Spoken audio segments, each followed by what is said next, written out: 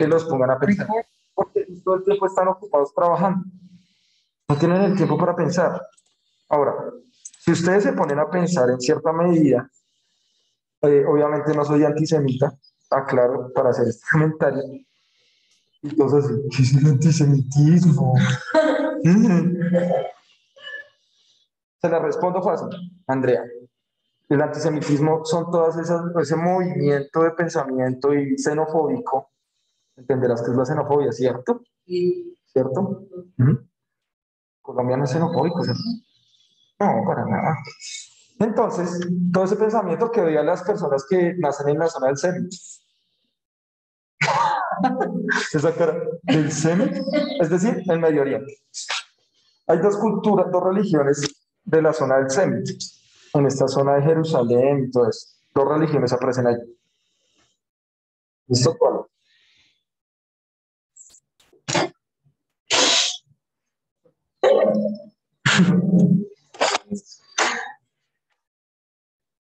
Listo. Los judíos y los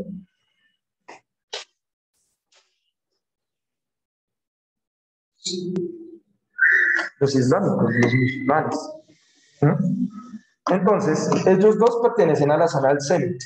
O sea, el Semit es un área en el Medio Oriente donde aparecen esas dos culturas y se chocan mucho. ¿sí? Son dos culturas.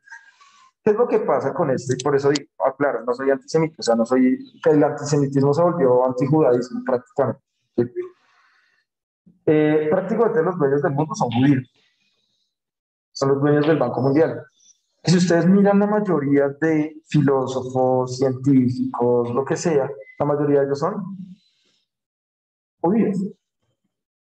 La mayoría. Ahora, ¿por qué? Porque como ellos tienen tanto poder adquisitivo, para los judíos no ha aparecido su Mesías, para los católicos sí, y para los evangélicos también. o bueno, para todos los cristianos en general, todo católico es cristiano, claro, ¿no? ¿Qué es un cristiano?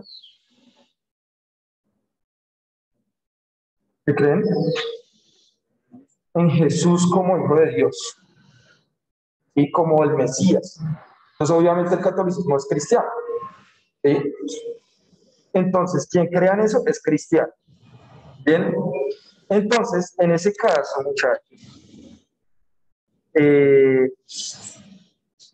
los amigos judíos no tienen un Mesías. Jesús para los judíos es un profeta. Y ellos juraron solemnemente que el día que llegara su Mesías, no iban a ser una familia pobre. Razón por la cual ellos, bueno, ustedes después sabrán por qué hay tanta persecución, pero el hecho es que ellos tienen prácticas muy acumulativas que derrumban ciertas economías por esa misma idea que no. Y por tanto, pues los judíos son muy incestuosos en términos culturales y es que solo se pueden involucrar con judíos. ¿Sí? Entonces, ellos tienen mucho dinero, muchas comodidades, por tanto tienen mucho tiempo libre, por tanto pueden pensar el mundo. ¿Listo? Esa es la vuelta. ¿Listo? Entonces, si nosotros hubiésemos estado, y lo mismo pasa acá, nosotros ahorita en este mundo contemporáneo, lo que somos somos es unos replicadores de mucha información pero llegar a repensar el mundo es muy, diferente, muy difícil, pero no es de esta época, así de siempre. Siempre ha habido algo que impidió pensar al humano. Por ejemplo, ¿qué sería mejor, vivir ahorita o vivir en la Edad Media? En la Edad Media, digamos que hubiésemos podido tener tiempo para pensar, pero si pensábamos algo contrario a lo que ya se pensaba que pasaba, nos quemaba la Inquisición fue muy chao, papá. Así como me gustaría con ustedes alcohol y... Imagínense eso. Acá, lo que tenemos es un, un medio. El año pasado no hubo tragedias el 7 ah, todo el mundo echándose alcohol y prendiendo y las velitas. No sé, habrá que ver los datos. De pronto alguien sí se quemó. Ay, cerré el texto. Que... Porque el que se asusta se quema. Listo. Volvamos a nuestro amigo con este preámbulo científico histórico. Ahora, ah, bueno, algo importante también para, digamos, las personas ya asumieron esa postura de no pensar. Por ejemplo, muchas carreras profesionales hoy en día ya no son profesionales, así tengan el título de ser profesionales, sino son tecnológicos. Las carreras técnicas y tecnológicas lo que se hace es aprender unos eh, procedimientos y replicarlos. Ya. O sea, yo aprendo a cómo mover una tuerca en el carro y ajustarlo para que funcione el carro. Ya. Pero en las carreras profesionales se entiende o se pretende entender por qué ese tornillo ahí, por qué ese material, por qué ajustarlo allí, ¿Por qué? ¿Por qué? O sea, siempre en las carreras profesionales la pregunta es el por qué. Yo ahorita en muchas, sobre todo universidades de orden privado, ya no se hace esa pregunta, sino replique. Se volvieron carreras tecnológicas. Entonces, eh, no, y a las personas les da igual. Es que para qué saber, saber toda la historia, ¿sí o no? ¿Para qué saber toda la historia? Digamos, por ejemplo, ¿tú de dónde eres, mi amor? ¿Sí sabías que somos hermanos? ¿Sí me entiendes? Somos hermanos. Entonces, nuestras patrias en algún momento estuvieron juntas. Pero una cosa es del Bolívar que se habla en Venezuela y otra cosa es el Bolívar que se habla en Colombia. Son dos figuras históricamente hablan diferentes. ¿Sí? Digamos, por ejemplo, si uno tiene una discusión de un Bolívar con una persona venezolana, hay tensiones. Hay tensiones. ¿Sí? ¿Eso qué quiere decir? Que no somos capaces de ver la historia de forma crítica. Y eso pasa con todo. Si está la frase cliché, si quien no conoce esa historia está condenado a repetirla. Si la conocen, nos queremos eh, revolcar en la historia para seguir repitiendo ciertas cosas porque dan comodidad. ¿sí? Y la historia sí transforma. Pero tiene que ver principalmente con lo que dice Kant. O sea, nosotros tenemos miedo, tenemos incapacidad, tenemos pereza de pensar por nosotros mismos. No nos interesa. Y eso es lo que queremos que ustedes hagan con el, bueno, lo que yo quiero que ustedes hagan con su ensayo. El ensayo no lo vamos a escribir para satisfacer al profesor Miguel y que yo diga, oh, qué gran cerebro el que hay acá. Por supuesto, no. Sino lo que vamos a hacer en ese ensayo es realmente que ustedes planteen una idea que a ustedes les mueva. Aunque bueno, lastimosamente como estamos viendo eh, biotecnología, pues vamos a hacer con ese tema. El de 11 es mucho más chévere el ensayo que repusimos. Porque el ensayo de 11 y si el otro año nos reencontramos en este espacio, pues será ese también. Es sobre sus carreras profesionales. O sea, cómo eso puede aportar de una forma al ambiente. ¿Qué es el ambiente? Pues la relación entre humanos y su entorno. Entonces eso es un poco más profundo. Pero este, digamos, ¿todo bien? Uf.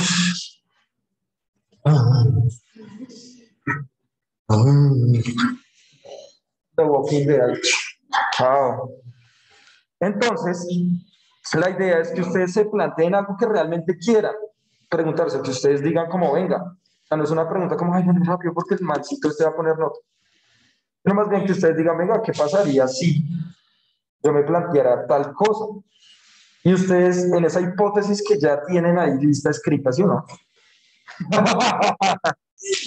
Eh, ustedes después, cuando hagan la consulta, van a volver sobre esa hipótesis y van a decir, uy, espere, yo voy a reafirmar eso que escribí o me di cuenta que no, que sí estaba como muy desfasado y empiezo a platear. ¿Eso cómo se llama? Pensar. O sea, hacer una reflexión. Uno no piensa todo el tiempo. Uno sí tiene cosas en la cabeza, en la mente, siempre. Pero que yo tenga cosas en la mente no quiere decir que piense. ¿Qué es pensar? Volver sobre esas ideas y cuestionarlas si, el profe, si Emmanuel Kant me dice que la ilustración es la liberación del hombre de su culpable incapacidad, yo podría cuestionar a Kant y decirle, ¿será que en esa época no sé cuántos humanos habría en el mundo? ¿Será que los miró todos? ¿O solo está hablando de una perspectiva europea? ¿De qué me hablas, Kant? ¿Será que eso puede ser universal? ¿O realmente Emmanuel Kant tuvo la incapacidad de comprender otras culturas. No sé, pero puedo volver al mismo punto. Sin embargo, es muy interesante lo que él plantea, porque lo que él plantea en este primer párrafo, así como lo hacen ustedes, lo van a hacer ustedes en su ensayo, es una introducción. Si pueden leer el resto del ensayo sería fenomenal les va a servir para el resto de la vida. En serio, es muy bueno. Que no van a entender ni el 30%, es verdad. Porque hay cosas muy complicadas. Hay autores peores. Pero eh, sí les va a poder mover algo en la cabeza. Y si ustedes leen algo que les va, o ven, digamos, por ejemplo, uno puede ver películas, puede ver lo que sea, jugar videojuegos no está mal. Con tal de que eso los ponga a pensar. ¿Qué es pensar? Volver sobre sus ideas y cuestionarse. Cuestionarse. ¿Sí? Por ejemplo, ayer unas niñas se perdieron. Y creyeron en la idea de que un barrio era peligroso solo por lo estético y porque alguien les dijo que era peligroso. Pero pueden volver en otra forma, en otro tiempo, para cuestionar sus propias ideas. Y puede que sí sea muy peligroso. O pueden darse cuenta que toda Bogotá es muy peligroso. No solo un barrio específico. ¿Sí? Pero es volver sobre, sobre todas las vivencias. ¿Sí? Nosotros aprendemos imitando, por ejemplo, en gran medida. Entonces, por ejemplo, lo mismo. Si yo me voy por una cuadra así oscura, tal, y ese día me roban en un barrio super nice, pues yo ya no voy a volver a coger por esa misma cuadra, la misma hora, en el mismo canal, en el, mismo sentido, o sea, ¿sí? Porque eso es lo que está pasando. Entonces yo vuelvo sobre lo mismo y digo, no, pues están abeja. Me roban en la otra, la otra, la otra. Yo digo, venga, ¿el problema cuál es? ¿El ladrón maldito que siempre me roba? ¿O el sistema que se ha modificado para que eso sea funcional? No sé, ¿eso de qué depende? De la interpretación de cada uno. A eso voy. ¿Qué interpretación yo le doy a todo lo que tengo alrededor? Todo como posibilidad. Vamos otra vez. Uy, demasiado la mucha caca, ¿sí o no? La ilustración es la liberación del humano de su culpable incapacidad. La incapacidad significa la imposibilidad de servirse de su inteligencia sin la guía del otro es incapaz porque no puede pensar por sí mismo y nos está diciendo. Esta incapacidad es culpable porque su causa no reside en la falta de inteligencia, sino de decisión y valor para servirse por sí mismo de ella sin la tutela del otro. O sea, todos tenemos la capacidad de hacer, de pensar por nosotros mismos. Pero ¿cuál es la salida fácil? Que me digan cómo tengo que pensar. Es la salida fácil sea, como no, tú tienes que hacer esto. Por ejemplo, lo mismo, vuelvo al caso de los chicos de once. Muchos empezaron su pregunta y su ensayo como, ay, sí, yo quiero estudiar ingeniería. Y yo les decía, pero usted quiere estudiar artes. Sí, profe, pero pues es que eso no da plata. Yo le dije, no me interesa si da plata o no. O sea, escriba el ensayo sobre lo que usted quiere. Yo sé que las circunstancias van a hacer que usted no estudie eso, pero escriba lo que usted quiere. Estudiar, no sé, buñuelologías, lechono, lechonología. ¿Cómo perfeccionar la lechona? Eso es lo que quiero hacer en mi vida. Listo. Que mi familia, que mi contexto social, económico, político, biológico, lo que sea, hace que yo estudie ingeniería. No, vamos a escribir sobre lo que ustedes quieran. Lo mismo les digo a ustedes. Lo van a plantear lo que ustedes realmente les pueda llegar a mover de ese tema. Si bien es un tema obligado, obvio, por lo que estamos viendo, tienen también la, la libertad de contrarrestar cosas.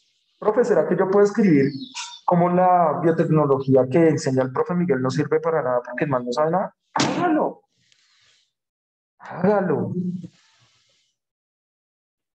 ¿Por qué no? Yo soy un man reacadémico. Soy un pedagogo reeducativo, ¿sí me entienden?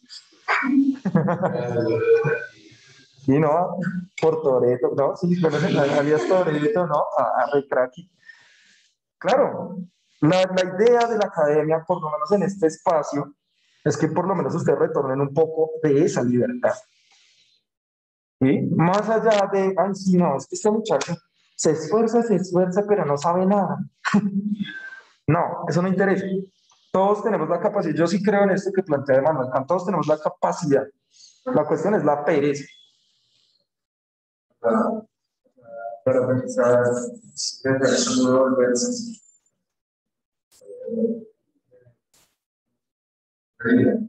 Claro, eso sí es cierto. Lo que pasa es que, digamos, nosotros obviamente ya estamos condicionados. Ninguno de nosotros eligió nacer en Colombia. ¿Sí o no? Bueno, en Venezuela. O, bueno, digamos, hermanos queridos latinoamericanos. No decidimos nacer en Latinoamérica. ¿Mm? No decidimos. No decidimos hablar español. ¿Cierto? No decidimos escoger nuestra familia. Pero nos tocó. Ahí ya tenemos unos conocimientos previos que no que se nos salen a nosotros. Pero en ese contexto, nosotros, claro, debemos tener unos conocimientos que hemos aprendido, bien sea por experiencia, bien sea por la escuela, bien sea por lo que sea, los aprendimos. Eh, o los memorizamos. Ahora, cuando yo empiezo a pensar el mundo, es abrirme a la posibilidad de ver otros mundos. ¿Cuál es la mejor forma de pensar? O sea, pensar no es solo el ejercicio aburrido de estar ahí todo el tiempo en un escritorio. No. Por ejemplo, si ustedes conocen otras culturas, bien sea que porque hayan conocido extranjeros que vengan a Colombia y ustedes hayan tenido interacción con ellos, o bien sea que se hayan ido del país, es una de las mejores formas de pensar. Y uno piensa es relacionándose con el otro. Porque uno dice, por ejemplo, que uno conozca a un oriental, un japonés, no usa papel higiénico. Ellos tienen un huequito, un chorrito con agua y se lavan el trasero. Y uno dice, oh, qué diferente. ¿Sí? Entonces, digamos, ahí uno empieza a cambiar, a intercambiar muchas cosas. Por ejemplo, si tú vas a Argentina, y entonces ellos, o a Uruguay, tienen la costumbre de tomar siempre mate, que es como una especie de té. Y todo el día esto me mate. Entonces a ti te parece chévere porque estás compartiendo varias cosas. Y si conoces varias zonas de Latinoamérica, te das cuenta que no somos todos tan diferentes así lo creamos. Entonces ahí tú empiezas a generar tus propias construcciones, porque cuando uno piensa siempre vuelve sobre sí mismo y cuestiona su propia vivencia. Ahora, eh, hay filósofos muy pilos, como este mancito, yo siempre le hago publicidad. Vamos a hacerle publicidad a este al más grande de los grandes, uno de los filósofos más tesos del mundo. Se llamaba Walter Benjamin Casi nunca lo enseña, tristemente, pero es que es tan grande. Lo que pasa es que los textos, él no alcanzó a publicar muchos libros. Él era judío y eh, estalló la Segunda Guerra Mundial y estaba la Gestapo persiguiendo a todos estos manes de la Escuela de Frankfurt, que todos eran judíos. Eran, la Escuela de Frankfurt es un grupo de filósofos, de mujeres y hombres, muy, muy, muy, muy tesos, pero muchos, si los pueden leer, en serio, en serio, Adorno, Hannah o sea, todos son muy tesos. Pero un parchecito así, trin, seis manes, ¿qué vamos a pensarles o qué bueno, ¿Cómo? Él, el grupo, él no pertenecía a ese grupo, ¿listo? Pero él era muy amigo, se llama la Escuela de Frankfurt. Así se llama, la Escuela de Frankfurt. O sea, alemanes muy inteligentes. La Escuela de Frankfurt, o sea, los manes muy, muy, muy tesos y los manes estudian, o sea, los manes entre comillas, anticiparon la segunda, la primera y la segunda guerra mundial, solo pensando. Los más dijeron, uff, el capitalismo va a entrar en crisis y a desarrollar guerras como nunca se han visto. Y los manes anticiparon la primera y la segunda guerra mundial, pero nadie los veía. y eso ya se, se veía porque es la crisis del capitalismo. Este mancito tiene un texto buenísimo, pero muy bueno, que se llama El Narrador. Así se llama el texto. Y el man dice, el man coge a un, a un periodista eh, soviético que se llama Leskov, se llama el periodista. Y Leskov viajó por todo el mundo. Y el man contaba esas historias a otros pueblos. Algo muy similar a lo que hacían nuestros amigos, los hermanos Grimm.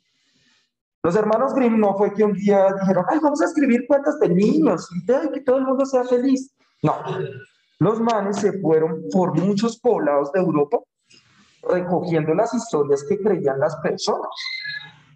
¿Sí? Ahora, no es como los que dan el fin de semana en Caracol, no. Los originales, los cuentos de, los hermanos Grimm originales, que pues son mucho más crudos, porque eran creencias que tenían las personas. ¿Sí? Entonces, eh, si había muerte, si no era el príncipe, la princesa al final, no era tan así. Eso hacía el Entonces dice, Cuando una persona viaja, comprende el mundo, o sea, piensa, y quiere, y bueno, cuando cuenta su relato, pues se llama narrador, cuando narra su historia, pues lleva a esa persona a, a ese lugar, en su pensamiento, en su mente, porque le empieza a contar cosas. Entonces, por ejemplo, yo les digo, bueno, yo en el año 2014 me fui a una ciudad que se llama Bariloche, en Argentina. Y entonces en esa ciudad uno se paraba en, en una partecita y uno veía, se veía toda la cordillera de los Andes cubierta de nieve. Pero antes de esa cordillera de los Andes había un lago gigante, muy frío. Y el viento era tan helado que me quemaba los cachetes. Entonces ustedes ya empiezan a hacerse una imagen. No lo conocen, pero ya empiezan a mirar. Y eso es lo que hacen los libros también. Cuando ustedes leen, si ustedes leen, por ejemplo, alguna obra antes de que le hagan la película, se decepcionan mucho con la película. Suele pasar. No, pues yo me mejor. Por las descripciones, por lo que sea, no sé. Pero es lo mismo, eso no está viajando. Ahora, hay cosas que, digamos, él, cuando analiza la guerra, él dice, ahora, hay personas que viajan mucho, mucho, mucho, mucho, pero sus experiencias son tan vainas que no quieren contar nada. Por ejemplo, el soldado cuando va a la guerra, pues vivía en Estados Unidos, conoció toda Europa, pero la conoció en unas épocas de muerte. El soldado no quiere recrear otra vez la guerra, contarle, no, si no, eso es le metí severos balazos, mataron a mi compañero al lado, yo lo recogí los intestinos. ¿Cómo? No, eh, para mayor información, véanse el, véanse el, el rescate del soldado Ryan. ¿Sí lo han visto? Una muy buena película, el soldado, el rescate del soldado Ryan, y el comienzo es muy fuerte porque empieza con el día de. Me gusta la cara de algunos. El día de, el día de Dios. Día de 1944, Francia, Normandía. Los que han jugado Call of Duty, obviamente sabrán. Claro. El Call of Duty viejito y en el Play 4 le hicieron un remasterizado que es el World War II. Sí. Entonces esta es la escena clásica. Y entonces esta película del rescate del soldado Ryan muestra esto, pues de una forma mucho más cruda, ¿no? Y así los sesos y toda la vuelta, ¿cómo fue esto? Ahora, eh, Benjamin decía, no, pues el man que viva eso, pues no quiere recordar eso. Se, la guerra o las cosas crueles o lo que sea, impiden que las personas quieran pensar también. ¿Sí? O sea, o que quieran recordar también. Uno necesita ese ejercicio de la memoria, de los conocimientos, de, para poder ponerlos en cuestión. Por ejemplo, el trabajo de Mayra del Foro es buenísimo, se lo, invito para que lo lean, porque ella debate la idea de la muerte como posibilidad de existencia también, una posibilidad de decisión, la muerte en la Segunda Guerra Mundial. ¿Qué era mejor? ¿Estar en un campo de concentración explotado sin poder comer o morir? ¿Qué es mejor? No sé, no vamos a dar la respuesta. La Mayra ha hecho un análisis.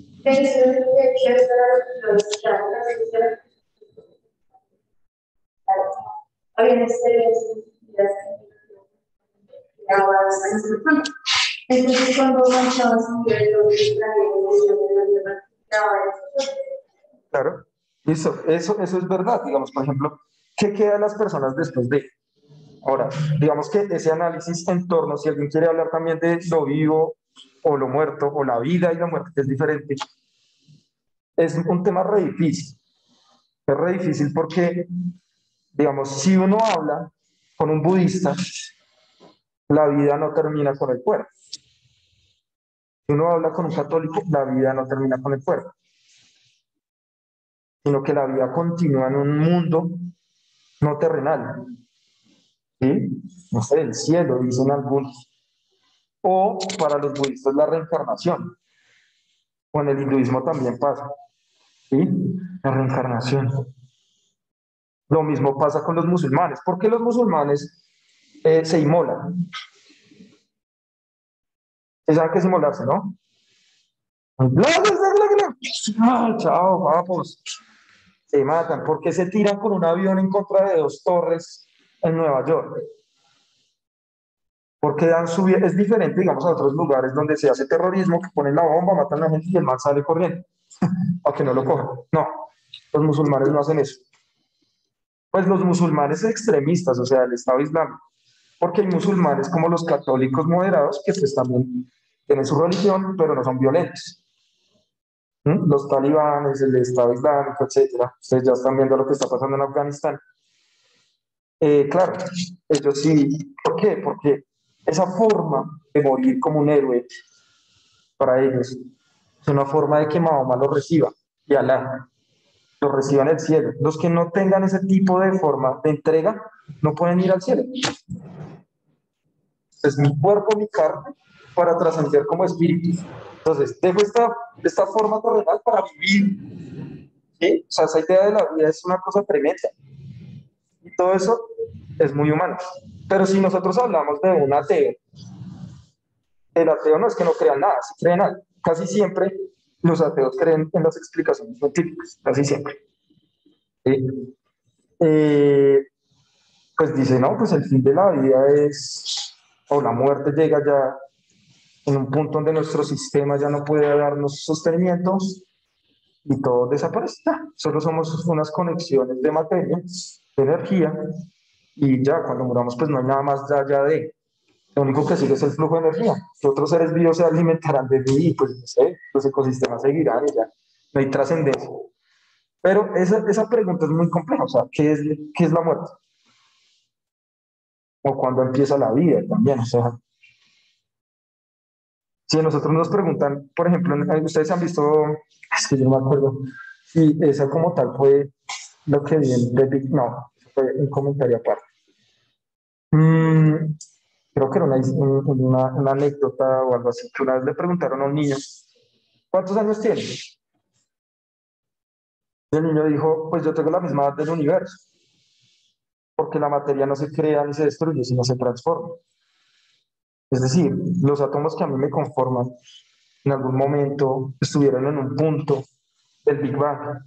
Se disipó esa materia, se empezó a transformar, viajó por todo el universo hasta llegar a la Tierra y en un flujo interacción de átomos me formaron a.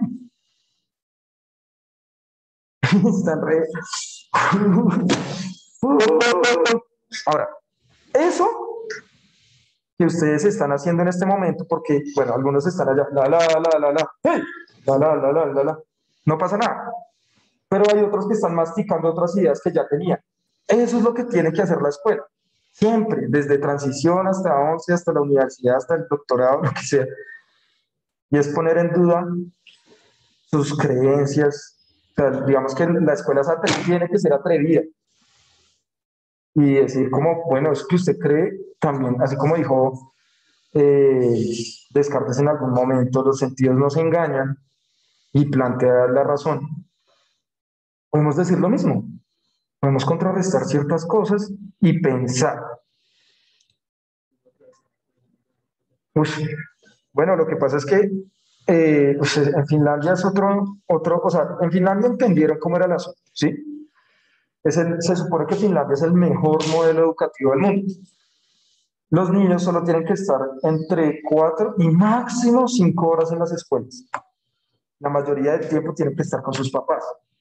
Y los papás no tienen que trabajar hasta que el niño cumpla seis o siete años. Lo más importante es que lo acompañen en esas primeras etapas. Ahora, ¿eso qué lo hace? Un modelo económico eh, socialista, ¿sí? donde se le dan las garantías económicas a todos, una población muy pequeña, porque obviamente no es lo mismo hablar de Finlandia, no sé qué población tendrá Finlandia, pero yo dudo mucho que eh, supere, no sé, tal vez unos 10 millones de, dudo, o sea, tocaría mirar, debemos saber. Y Islandia tiene nomás 500 mil habitantes, Islandia, y Bogotá tiene 9 millones. Bogotá tiene más población, pero mucha más población que Islandia. Entonces, miremos, iba a poner,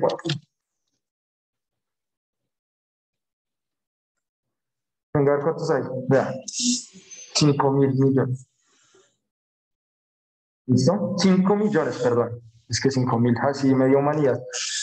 5 millones, 5.5 millones. O sea, 5 millones. Y Colombia, eh, Bogotá tiene 9 millones de habitantes. No es lo mismo. Ahora, esto es un país socialista internamente, políticamente, socialmente hablando, pero su economía externa es capitalista. Eso qué quiere decir. La mayoría de países de Europa viven gracias a explotar países como Colombia. Les sacan recursos para que ellos tengan una buena vida.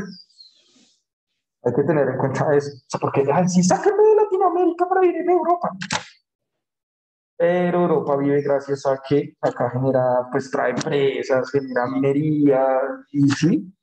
Para mayor información, ver esa película de Avatar, la de los muñequitos azules, que van a explotar el planeta. O sea, si la apología, otro planeta, otro planeta son los indígenas.